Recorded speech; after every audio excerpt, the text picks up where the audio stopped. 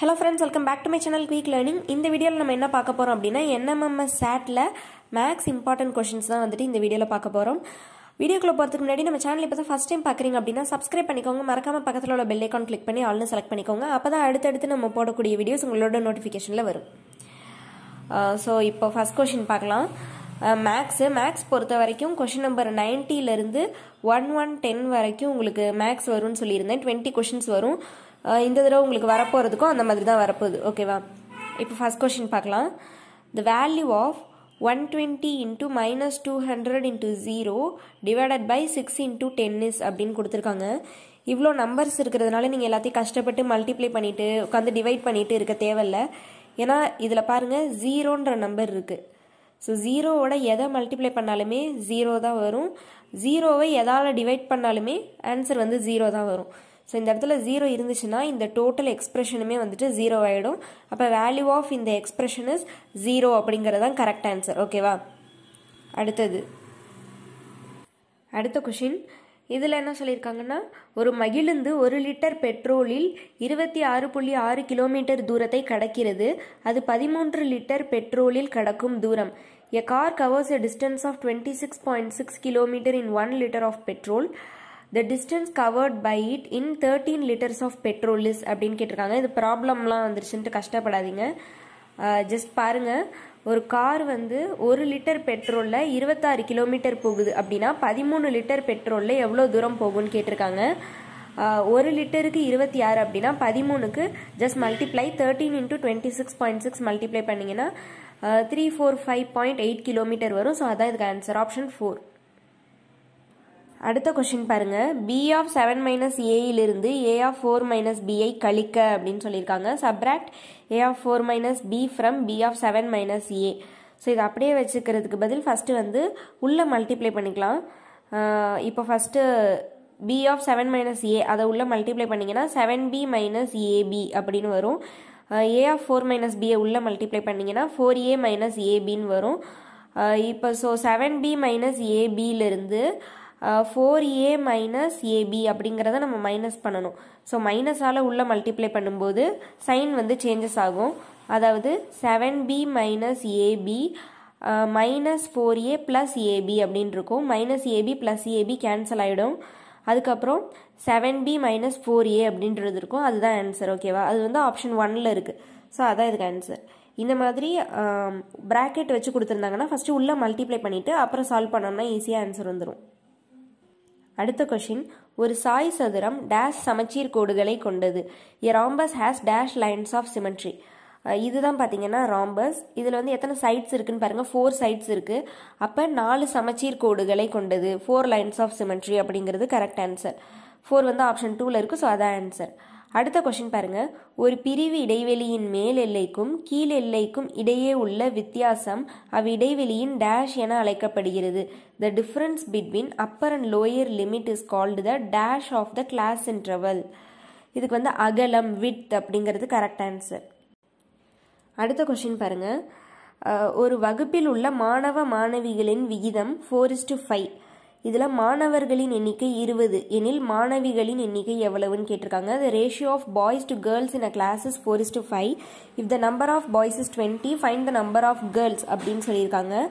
So four is to five ரேஷியோங்கிறத கொடுத்துட்டாங்க. இதில் பாய்ஸோட ratio வந்து அப்போ ஃபோரு ஓகேவா ஃபோருக்கு ஃபைவ் அப்படிங்கிற ரேஷியோவில் இருக்காங்க பாய்ஸும் கேர்ள்ஸும் இதில் நம்பர் ஆஃப் பாய்ஸ் டுவெண்ட்டி அப்படின்னா இந்த ரேஷியோவில் வந்து ஃபோர் அப்படிங்கிறது தான் பாய்ஸோடது ஓகேவா ஃபோரோட எதை மல்டிப்ளை பண்ணால் இந்த டுவெண்ட்டி வரும்?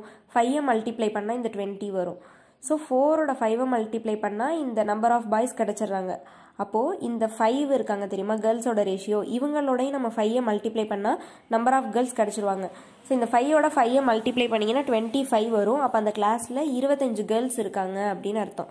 இருபத்தஞ்சு வந்து ஆப்ஷன் த்ரீயில் இருக்குது ஸோ அதான் கரெக்டான ஆன்சர் அடுத்த கொஷின் ஒரு குறுக்கு வெட்டி ஏதேனும் இரு கோடுகளை வெட்டும்போது அந்த இரு கோடுகள் dash if a transversal intersect any two lines the two lines dash அப்படின்னு சொல்லியிருக்காங்க. இணையானவை அல்லது இணையற்றவை. May or may not be parallel அப்படிங்கிறது கரெக்ட் ஆன்சர் அடுத்த கொஷின் கீழ்காணும் படத்தின் பரப்பளவு டேஷ் சதுர centimetre the area of following figure is dash square centimetre இதுக்கு வந்து டுவெண்ட்டி சிக்ஸ் ஸ்கொயர் சென்டிமீட்டர் அப்படிங்கிறது கரெக்ட் ஆன்சர் அதாவது இந்த டயக்ராமோட ஏரியா கேட்டிருக்காங்க. இது வந்து ஒரு ட்ரையாங்கிள் ஸோ அதுக்கு ஏற்ற மாதிரி அந்த ஃபார்முலா யூஸ் பண்ணிங்கன்னா இந்த ஆன்சர் கரெக்டாக வந்துடும் டுவெண்ட்டி சிக்ஸ் அப்படின்றது. அடுத்த கொஷின் எந்த ஒரு வட்டத்திலும் ஆரத்திற்கு சமமான நான் மையத்தில் டேஷ் கோணத்தை உண்டாக்கும். In any circle a chord of length equal to its radius substance dash angle at the centre இதுக்கு சிக்ஸ்டி டிகிரி அப்படிங்கிறது கரெக்ட் ஆன்சர் அடுத்த கொஷின் ஒரு சக்கரம் மூன்று வினாடிகளில் நாற்பத்தி எட்டு முறை சுழல்கிறது. முப்பது வினாடிகளில் அச்சக்கரம் எத்தனை முறை சுழலும்?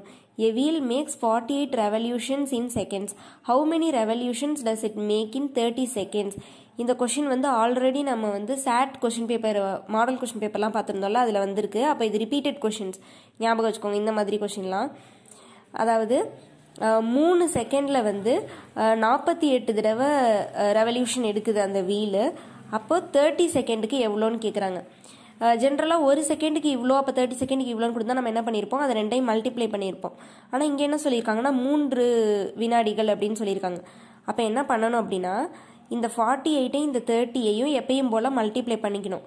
நம்ம ஒன்னாக இருந்தால் என்ன பண்ணுவோம்? இது ரெண்டையும் மல்டிப்ளை பண்ணி ஆன்சரை போட்டுருவோம்.